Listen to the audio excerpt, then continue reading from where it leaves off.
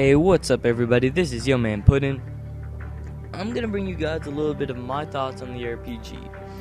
Now, I don't like the other secondary weapons. I don't like the crossbow. I don't like the ballistic knives. It's just not something I use or can use, as a matter of fact, because I'm not really that good. As you can see by my stats, I am just like above average player.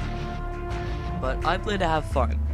And for me, having fun is using an RPG and blowing people up yeah, I don't know why, but there's just there's just something about blowing people up that I just love so much.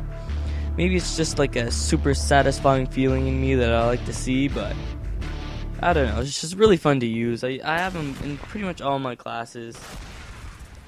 Just because, well, if you see multiple people and you have like a gun with no ammo, you can just whip out an RPG and boom, they're dead.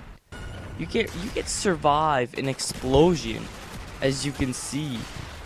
But yeah, RPGs are just really fun. I could not live and play this game without an RPG in it. And I'm so glad that Black Ops 2 still has it. And speaking of which, we will be bringing a lot of Black Ops 2 videos when it comes out. So that is in 12 days from now. It's really coming soon and I can't wait. I know my clan can't wait. I know all of you can't wait and we promise we will give some good videos of Black Ops 2 for all of you guys.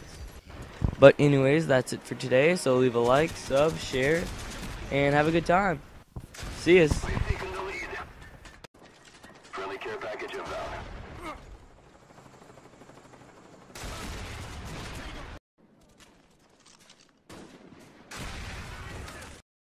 bomb has been planted.